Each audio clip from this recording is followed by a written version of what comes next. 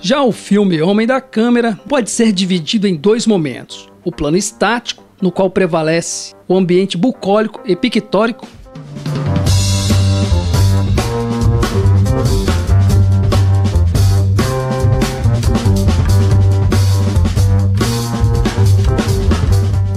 e o acelerado, cuja dinâmica revolucionária é determinada pela destruição criativa de todos os planos urbanísticos.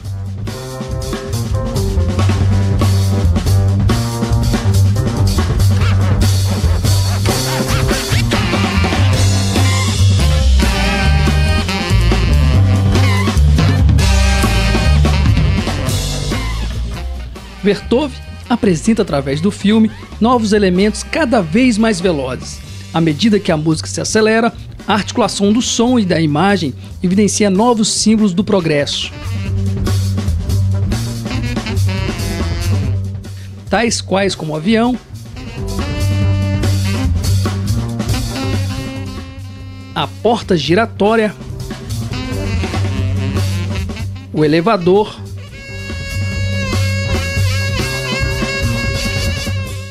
e os maquinários mais sofisticados. No entanto, nada disso seria mostrado com perfeição se não houvesse o cine-olho, ou seja, uma visão subjetiva.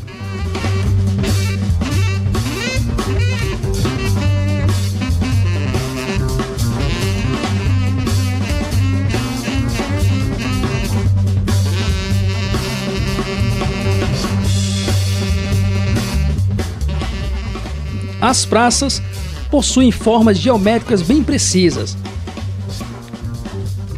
A perfeição no movimento e a articulação dos bondes parecem como partituras de uma sinfonia.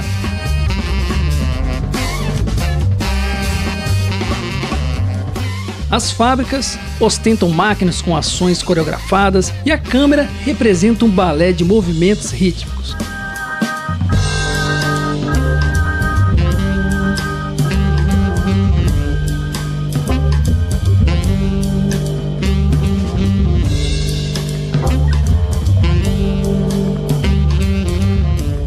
Vertov assim tenta aproximar-se do real, expor a situação nua e crua, tal como acontece.